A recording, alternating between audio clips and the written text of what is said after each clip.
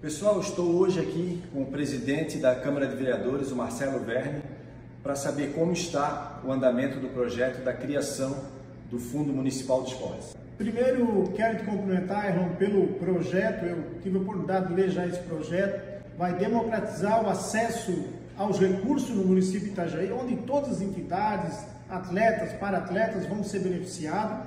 Então, um projeto de destaque, de relevância, trará, sem dúvida nenhuma, um outro momento, um outro patamar para o esporte de Itajaí. Esse projeto está na CCJ, está breve indo ao plenário. Né? Então, quero pedir aos itajaenses que gostam de esporte, para desporto, que acompanhem, acompanhem o Iron, que em breve nós vamos estar discutindo esse projeto no plenário, para que fique esse legado é, através da gestão do Iron, que vai marcar o esporte de Itajaí com a democratização, acesso aos recursos dentro do Fundo Esporte. Então, é nosso compromisso trabalhar para que aí nos próximos dias esse projeto passe no plenário, seja deliberado e que o prefeito possa sancionar e que ainda nesse primeiro semestre ou início do segundo semestre possa ser uma realidade para todos os atletas e entidades do nosso município. Valeu, pessoal. Vamos em frente. Tendo novidades, eu conto para vocês. Obrigado, Marcelo.